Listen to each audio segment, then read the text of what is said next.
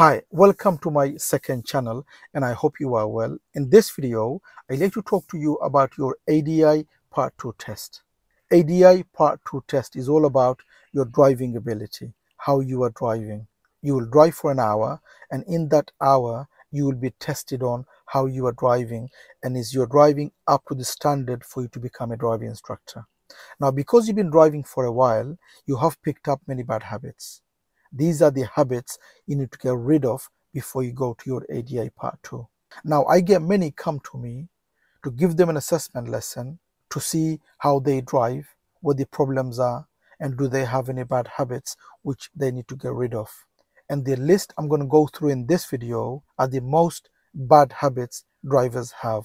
Because they've been driving for a while, like I said, these are the habits they have which they need to get rid of. So I made a list of the bad habits which most pick up over the years. And these are the things I have covered in this video for you to see. Look at the list. What you do is you go out and you practice and you improve those. Get rid of those bad habits, improve them so that you become better driver. You go to your ADI part two, you pass, and then when you become an ADI, when you become a driving instructor, you teach your learners how they should be driving. Let's start the lesson.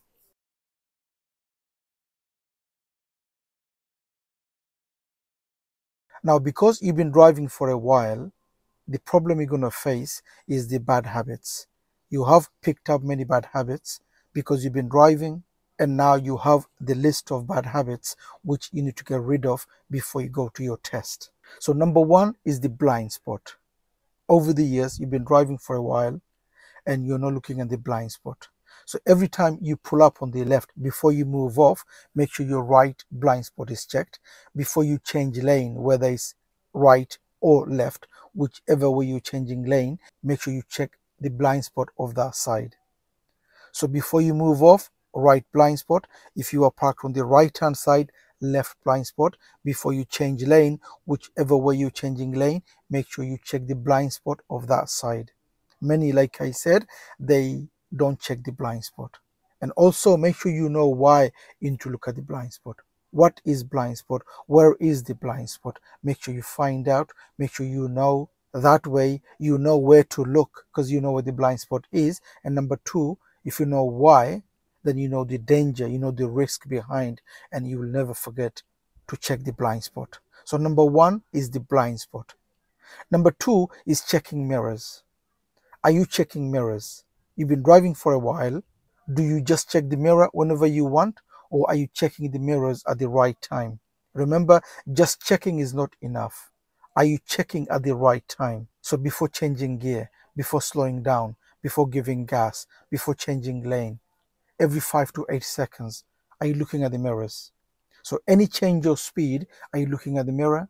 And if you are driving on a long road without any problem, are you checking every five to eight seconds? So next time you drive, check are you doing that or are you just randomly checking but you're not actually doing at the right time. So for example, you're driving along and you could see a traffic light and it's red. What do you think you should be doing? It's red. You need to stop maybe over there. And because of that, you need to make sure to check who's behind because you might have to brake over there. The car in front, they're braking. What do you think you should be doing? Maybe you'll have to brake. Look at the mirror first and then start braking you want to go left, you want to go right, you want to change gear, you want to increase your speed, you want to brake.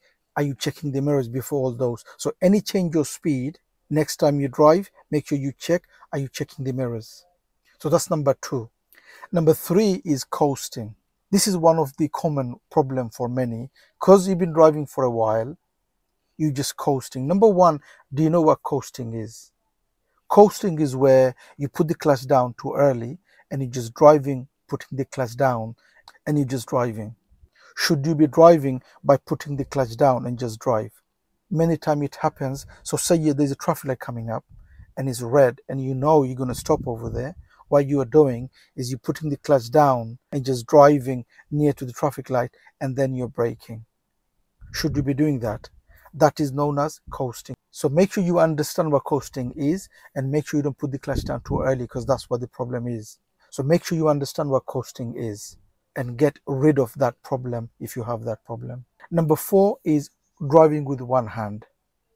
They either drive with one hand or they steer with one hand. Okay, so you don't want to go left or right, they just steer with one hand. Should you be doing that? This is one of the bad habits you pick up because you've been driving for a while. So try not to drive with one hand, both hands on the wheel, because you get maximum control if you have both hands. And also try not to steer with one hand. You should be steering with pull and push technique with both hands. You have maximum control if you have both hands on the wheel. So because you've been driving for a while, like I said, this is one of the bad habits you're going to have. Maybe you're just driving with one hand or you're steering with one hand to go left and right. So that's number four. Make sure if you have that problem, get rid of that problem. You don't want that. Because that's why you're going to be teaching your learners. Imagine you have that problem, but you are teaching your learners not to do that.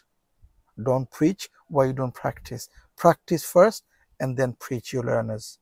Okay, eventually you're going to become a driving instructor, which means you're going to teach your learners, you're going to tell them not to drive with one hand, but you are doing it.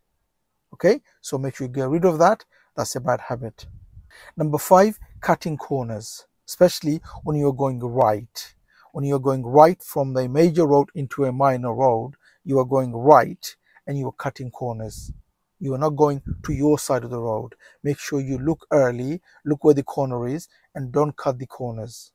Because cutting corners meaning you are not going to your side of the road, you are cutting corner to the other side before you reach your side. And if there's a car coming, that's a problem. So number five is cutting corners when you are going right or when you're turning right. If you have that problem, get rid of that problem, practice on that, make sure you don't do it. That's why you're going to be teaching your learners. That's why you should be doing. So no cutting corners when you're turning right. Number six, roundabouts. Make sure you fully understand what is roundabout, which lane you need, when to signal, how much speed, when should you be looking, when should you be braking. On a mini roundabout, should you signal as you are leaving the roundabout? So make sure you understand fully the roundabouts. Many, many they forget the roundabouts, the signaling, the lane. Because they've been driving for a while, they just forgot how to do the roundabouts. They just doing it anyhow when they go to the roundabouts. So make sure you read about it, watch videos about roundabouts, and you fully understand what is roundabouts, which lane you need to go to the exits that you want to go, when to signal, mini roundabouts, signaling. Do you understand all of that? Okay. I put that on the list because like I said, when I give lessons, when I give assessment lessons to others who wants to become driving instructors, I do see the problems on roundabouts when they are dealing with roundabouts. And this is why I put that on the list. So go through roundabouts, understand roundabouts, and get rid of the bad habits if you have it. Number seven is meeting traffic. What is meeting traffic? Do you understand meeting traffic? Who has the priority on meeting traffic? Driving along, parked cars on both sides. There's no space for two car. Who has priority? Who's going to give way? Do you have the priority or do they have the priority? Do you understand priorities? Do you understand meeting traffic? So check on the videos on meeting traffic on my the other channel and watch the videos on meeting traffic. Understand the subject, understand the priorities, understand how to deal with the subject meeting traffic okay? Because many they do have problem they keep pushing. When they see when they go to a road where there's no space for two car and there's a car coming they keep pushing the other car to stop because they don't know who's got the priority. They don't know how to deal with the situation. So make sure you go over make sure you understand the subject and you know how to deal with it. You know who has the priority okay so meeting traffic is number seven. Number eight is the speed limits. Do you understand the speed limits? Do you understand the speed of the road? Are you checking your speed on your driving? Or are you speeding most of the time? Are you driving too slow? Are you driving too fast for the road?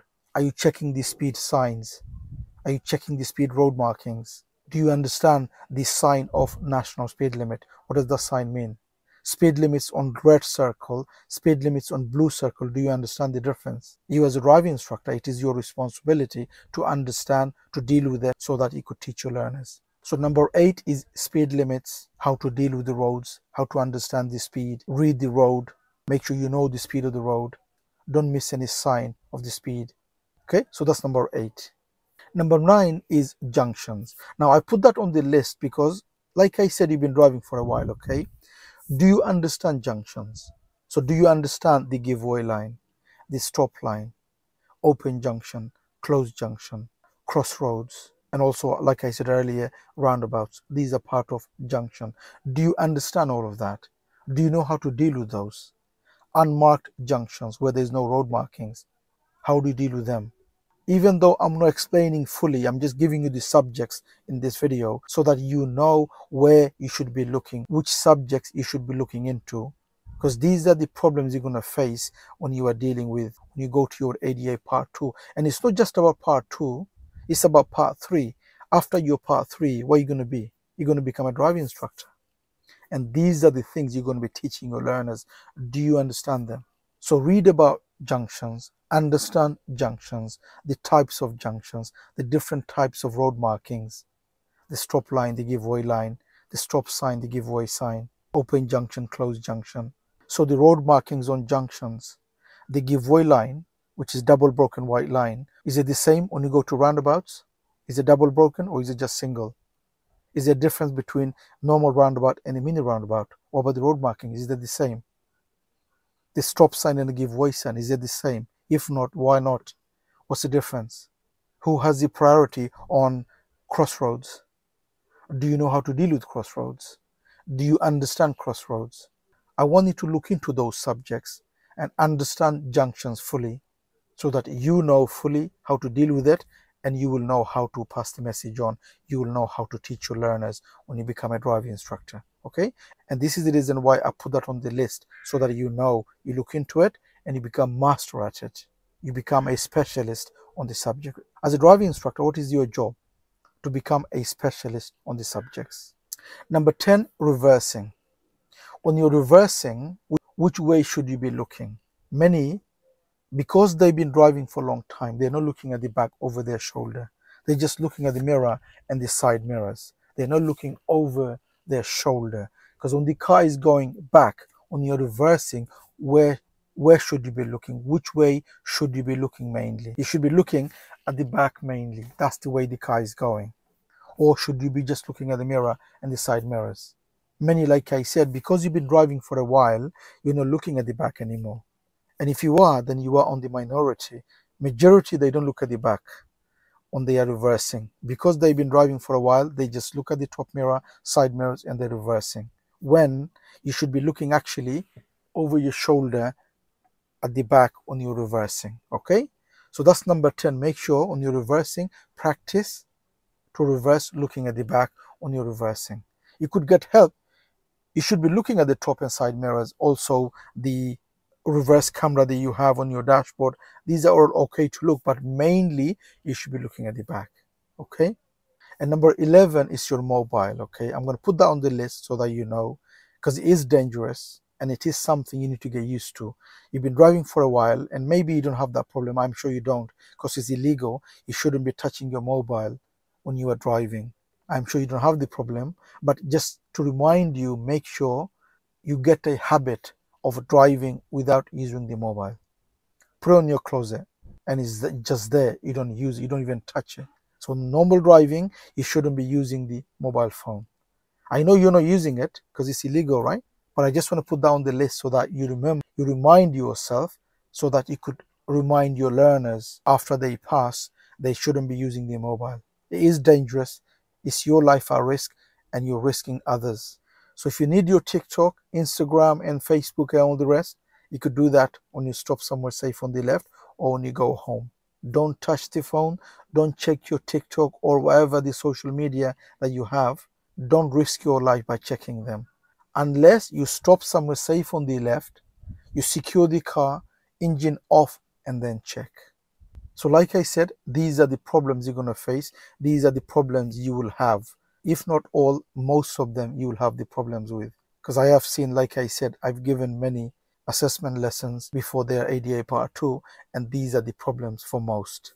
So go through them, do trainings on them, practice those on your own time. Just go over each one at a time 20 minutes, half an hour, one hour on each one and correct them.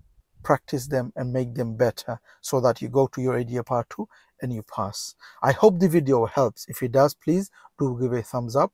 Please do make a comment what you think of the video. And if you're new to the channel, don't forget to subscribe so don't miss any of my future videos. Hope to see you again on the next video. Bye for now.